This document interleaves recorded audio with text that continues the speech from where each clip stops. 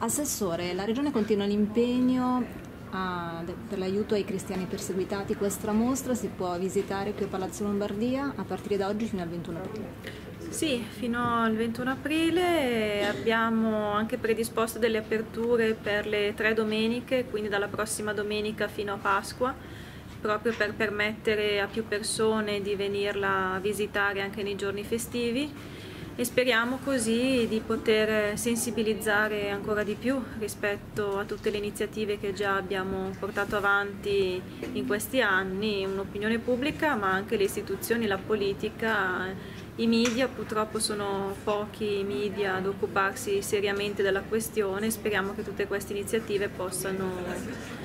accendere e tenere accesi sempre di più i riflettori su un dramma che colpisce tutti i giorni intere popolazioni le, che poi sono le nostre comunità cristiane in tutto il mondo. Abbiamo sentito anche delle testimonianze molto toccanti oggi tra l'altro, no? fatte anche dai due sacerdoti presenti. Sì, mi ha fatto molto piacere la presenza qui di due testimonianze dall'Iraq e dalla Siria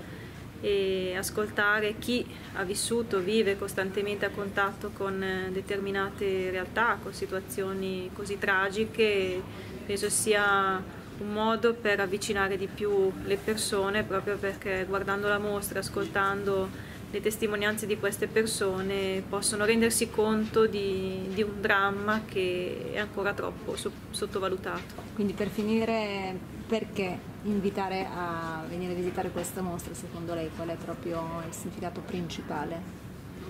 Per acquisire consapevolezza su quello che accade nel mondo, per capire come ancora oggi si muore per un credo religioso, per non rinunciare alla propria fede, per mantenere saldi dei principi e delle radici, un'identità